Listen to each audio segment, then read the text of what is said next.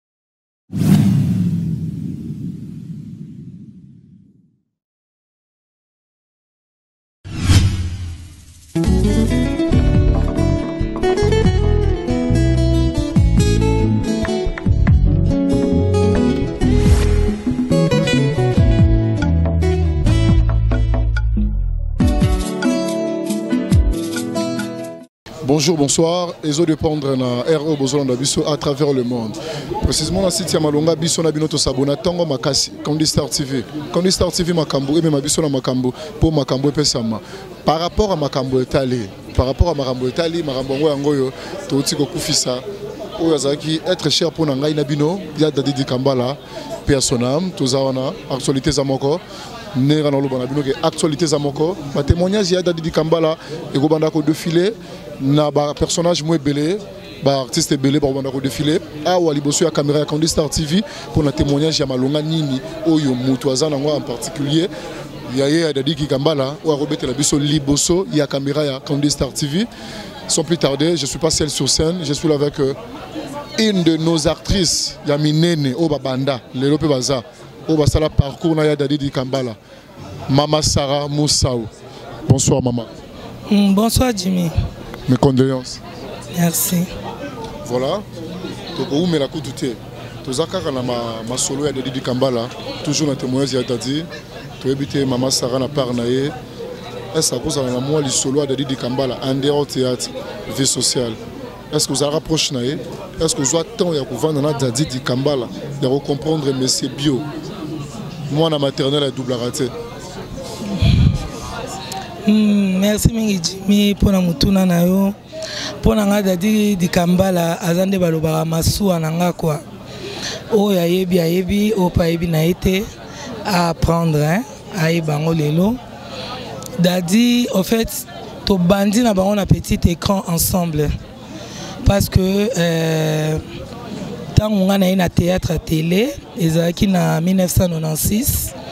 wana nauti na théâtre classique ya basale naye okuta dadi bango bazalaki na groupe swabala À l'époque, il n'y avait pas tellement de chaînes de télévision à part la RTC, na Congo Brazzaville et puis euh, antenne A na TKM et Fungwama. Donc euh, à l'époque, groupe Sobalapé et Bandé Kolikano na TVT, mais Bandé Kosala va spectacle, oh ayebi ayebi à l'époque Amira Esse, Amira Esse Olambe, Wanaskoyo, bah sports, il y a spectacle na Bango. alors eloko esangisaki eh, biso na dadi eza les stars du rire les stars du rire ezali troupe oyo ezalaka créé na société moko brassicole de la place oyo ayebi ayebi euh, ezalaki kosangisa ba 5 stars donc 5 stars wana ezalaki feu sans souci feu ntengo eh, mama bipendu bombo fifi na siatula bango nde bazalaki les 5 stars epuis biso tozalaki baartiste associe na bango ezalaki bongo bodo mama shako fololo ngai dadi dikambala miraesa fifi eh, pe ya sonam oyo toza kobenga bebeto ezalaki bongo koko bilali ezalaki mogondo ezalaki euh, euh, bibishi sasa euh, nani su nabosani ye fioti euh, tozalaki mwa ebele papa adi muzuri euh, nde tozalaki lokola baartiste associé en tout cas oyo nabosani alimbisa nga bambula eleki ebele 95 96 talaka alors euh, vraiment kaka nde boyebeli ye Il a toujours été ainsi, parce que ce Tozong Sabamboula Sima, euh, 96, ça fait quand même beaucoup d'années. Azalek Ande Boyebela qui est papa bio, toujours moto ambiance, soyez boyé na répétition, toujours kofungola fungola bino basaki donc il faut atala baci mvundu esika bozali eh, souvenir ya makasi oyo eyo nabosanaka te ti lelo ezali mbala mosusu tozalaki na repetition ya le star du rire ngai nautaki nanga kolela chef na biso moko ya société wana parce que nazalaki na anniversaire na nga nautaki kolela ye alukela nga masanga alors apesa ye nga bon apesa ye nga bon moi ya masanga nakezwa na dépôt ya boisson bon nga mpe tema na précipitation nataki na nga bwango te nabwaki kaka na saki na ye répétition wana to répété na foyer social na matonge en face ya jakarta oyo ayebi ayebi bana matonge bayebi alors euh, tant toye wana na répétition torépéte asalaka be na mbongo nayebisi ya naa na mbongo te bandi eh, bino bandeko mosusu basi eh, bolinga kokaba te kabe na mbongo nayebisi ya naa na mbongo te abotoli nga saki akimi na yango ntango akimi na saki na ngai akefungola saki abimisi bon atala boye nzoka nde ezalaki bon ya groupe na bango ya swabala sikoyo nzoka nde setula abandaka kozwa babon ya masanga groupe mais ekomaka te oyo eyebi kaka système akai sala mbala moko dadi azwi bon wana sara nzoka nde groupe swa bala mpe ezwaka bon ya masanga boye na boye aa nakeyebisa bana mai abengi mira esa bake basangani na groupe na bango swa bala batie siatula matata après siatula baye okotela ngai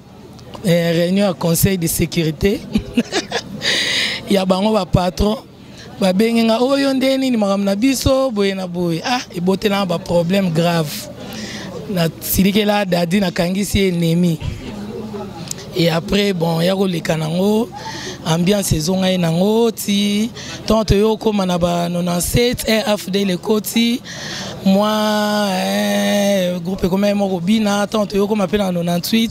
baperiode tozangi mwinda solo tozangi mai solo contrat yango eyaki toza kojoue su te mai mbongo tobandaka kozwa bamasanga tobandaka kozwa donc eh, eza epoque oyo tozalaka mpeya na dati ke bafinité ba ezalaki na ndenge ke master mpeya ya boulot kua après ntango toyokoma na bachaine ya batele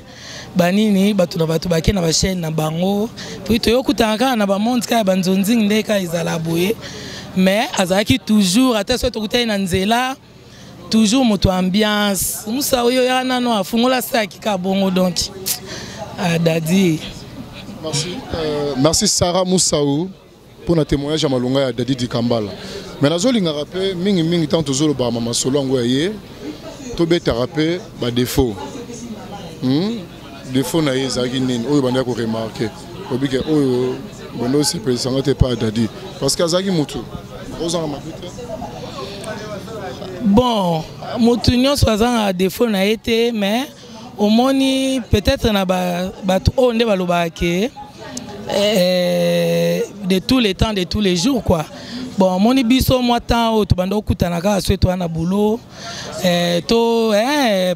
soki tokutani kaka na bacirconstance boye se pas ke tozali kose fréquente na bandako omoni eya mpasi nde tokutana no boye odécouvrir défaut na ngai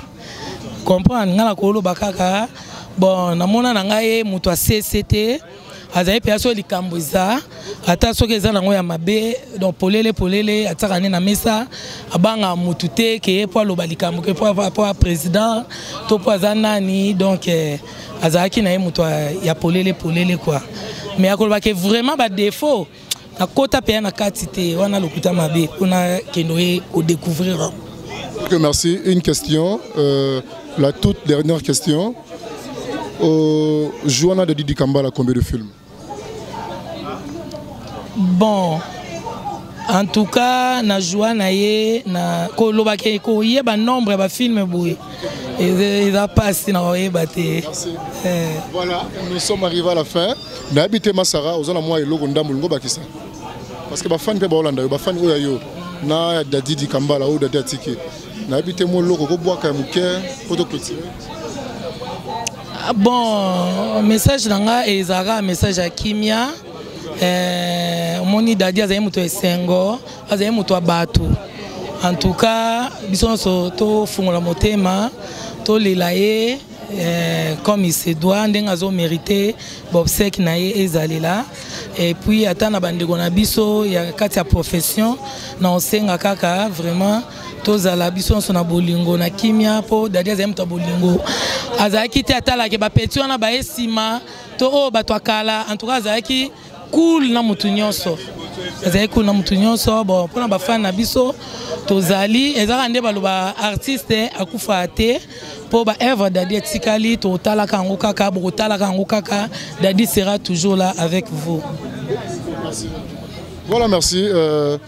Ya Daddy Dikambala akufi na nzoto bien sûr mais l'artiste ne meurt pas boyebi bino moko so bozotali na ba tv directement euh, ba image ezozongaka c'est comme si aza en vie raison pour laquelle balobaka non l'artiste ne meurt pas ba œuvre na ye nde elobaka na absence na ye merci je, vous, je dois vous remercier parce que bozalaki wana scotche branché ya kolanda biso na fidélité ya malonga oyo bopesaka biso na confiance yango tolingaka koabisie na yango te yango tolingaka kobebisa relation biso na bino te tolela bino ya grave tolela bino ya trop abonné à Condi Star TV na Bellevue TV. Je suis votre humble serviteur s'il vous plaît. Genie Star Louindoula, moi na lemba tongo, naza pene lemba tongo makasi. Preuve ane na lemba mosenzi azate. Na Condi Star na Bellevue TV pe mosenzi azate.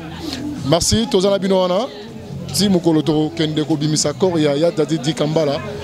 To bokomona avant wana bokomona ba artistes belé ba banda ko défiler liboso ya caméra ya Condé Star TV merci na bino nyonso bozalaka wana ya kolanda biso ya kosoutenir mosala malonga oyo tosalelaka bino na bandako bisika ezwami bino mama blondine ya mobenga karine manesa manesa bakarine wechi bokechu euh, beti longila cadete mama bize mondele aya mama bize mondele ba bonne guérison na yo mama bisika ezwami yo merci na la patrona la barona belinda kandi euh, patron na biso patron na biso ye wana merci na chance na opportunité opesaka biso merci à toi chinois hein le réalisateur le plus aimé du moment. Merci à vous. On se retrouve avec vous à la prochaine numéro. Bye.